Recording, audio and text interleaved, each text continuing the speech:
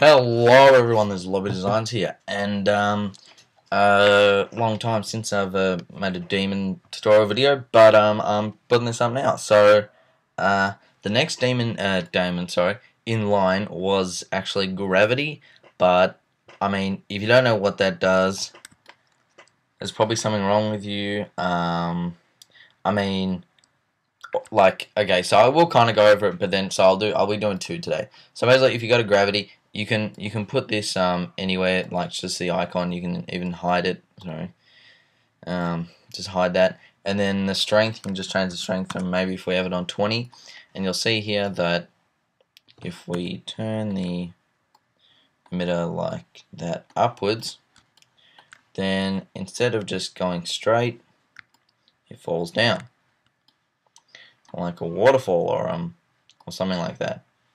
Um, so yeah, I mean, really simple, uh, and that's basically all it can be used for. You can use negative numbers so actually I'll actually do that. Um, so I put it on negative 15, hit reset, and then just hit simulate. You'll see that it goes up in weird circles. Um, that's just because the angle of the emitter uh, and the and the viscosity and settings of it. But yeah, anyway, so we'll delete gravity. Um, so that's that's really all you need to know for that. And I'll just change the settings of this. Um, and we'll head on to um, the attractor um, daemon. Now this is also pretty simple. Um, all you want to do is select it. Then this one, the icon is important. So if we drag this over here, and then you can see that that's kind of like it's, it's perfectly in line, in line, sorry, on the sideways of that. And if we change the strength to 10, then we hit reset and then simulate, you'll see that the liquid goes over there and then hits the ground. And yeah, and then so you can see the liquid is going to come up again and it's going to loop around and do a nice kind of thing here.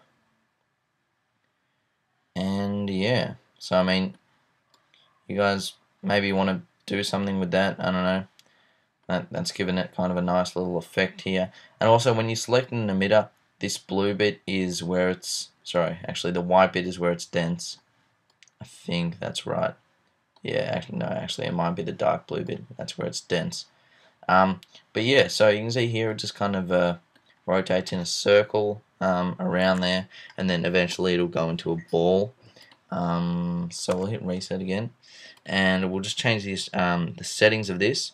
If you go to attenuated, sorry, yeah, attenuated, um, and then you can change actually the um, like what area is affected. So if for the internal radius, if we go 0.5, actually no, I'll actually make this large what the sorry five and then the external force five. And then the ex what? What's going on here? Okay so whoops. Took that on two. And then the external radius maybe four. Now you'll see that if we hit simulate again the effect is even though slight like you probably can't see it that well it is actually different. Actually it might not be yeah, might have to just move the might have to move the attractor. So if you move it over here, hit simulate,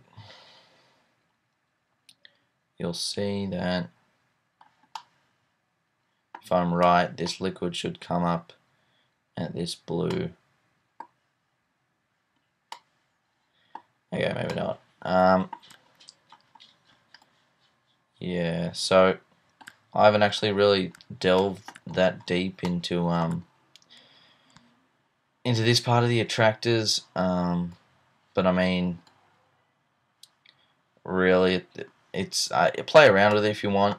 I really should have made this tutorial a bit better, like played with it before, um, maybe looked it up, whatever. But you get the general uh, gist of it, sorry, and um, just enjoy it, play around with it. You can make some pretty cool things. Um, uh, also, a few tips I have. Uh, so you can see here that when it, you can see that when it hits the ground it splashes but then then leads back up what you can do is like mid simulation so like here you turn the attractor off and then if you hit simulate it'll actually simulate it without the attractor there and then the um, the forces of the liquid being there like it'll all just change and there won't be any so there'll be no gravity so if we actually go back to here. And then chuck a bit of gravity in. The force on like 15 hit simulate. Then it goes down again. And yeah I mean I, I, I do this kind of quite a lot. Like I'll actually the downside is though you do make a mistake like say with your emitter you want to give it different settings you can't kind of reset it um, because you'd have to like redo everything. But yeah, I that doesn't bother me too much like when I've been doing it. Um, uh, another thing attractors work through through planes. Um, so we just take gravity off getting a bloody um, for just get an attractor and bring it down. You'll see here that the attractor um, attracts the liquids and the particles down here and they'll kind of go go to a weird circle. I mean they'll come to a like if you had it for like a few thousand frames they'd come uh, to an even circle above the emitter. And yeah just just thought I'd say that.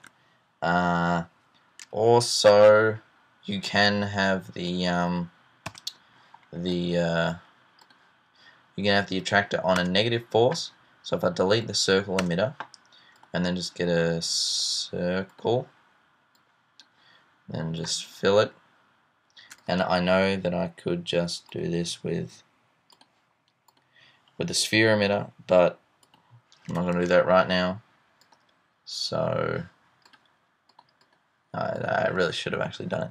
But anyway if we just simulate this now you'll see that there's no gravity which I forgot to put on. But anyway so nothing's really happening to it. Or nothing is happening to it. But then if we get an attractor drag it up to the circle. Then if we put the force onto negative 5 and simulate that the liquid actually gets pushed out and does this weird stuff here. So it's got these weird shapes that kind of look funny and weird and, and, and whatnot. Um, but yeah, so that's maybe just some stuff you can play around with. Uh, hope that tutorial was uh, good for you. I like I'm kind of tired, so I probably missed some stuff, and also I wasn't that in depth with the attractor. I was merely trying to show you the basics of it. Um, but but yeah, uh, so I guess enjoy your your, your days. Um, subscribe, do whatever. Chuck me some um, some love, maybe I don't know. Uh, like, favorite the video. Um, do subscribe, please, because uh, that would be really helpful. Um, check out my uh, my my pack for um for this actually looks kind of kind of cool, like an octopus. Na na na. Yeah. Anyway, so download my Cinema 4D pack. Um, that'll probably be helpful for you. Um, but anyway, I'll see you guys later. Uh, enjoy your day and yeah, keep on um, creating stuff. Yeah. Bye bye.